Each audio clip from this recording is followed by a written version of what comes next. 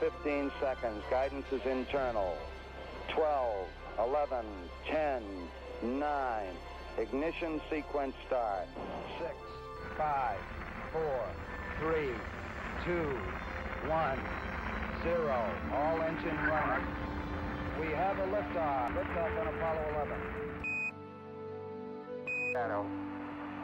Four forward, drift into the right a little. 30 seconds. Forward.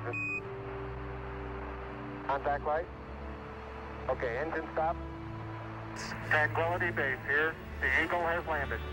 Roger, Tranquility. We copy you on the ground. You got a bunch of guys about to turn blue. We're pretty We're going to be busy for a minute. Armstrong is on the moon. Yeah, Neil they're- they're off the limb Armstrong, 38-year-old American, standing on the surface of the moon. On this July 20th, 1969. It's one small step for man, giant leap for mankind. Oh, that looks beautiful, Neil. It has a stark beauty all its own. It's uh, like much of the high desert of uh, United States. It's uh, different, but it's very pretty out here. Beautiful, beautiful. Isn't that something?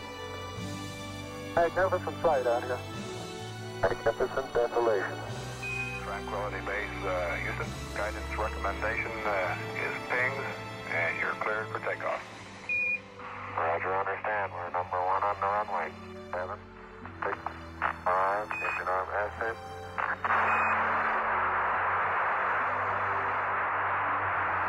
Shadow, beautiful. Very smooth. Very quiet ride.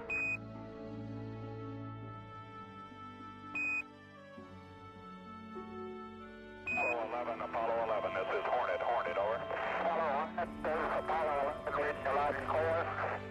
position 1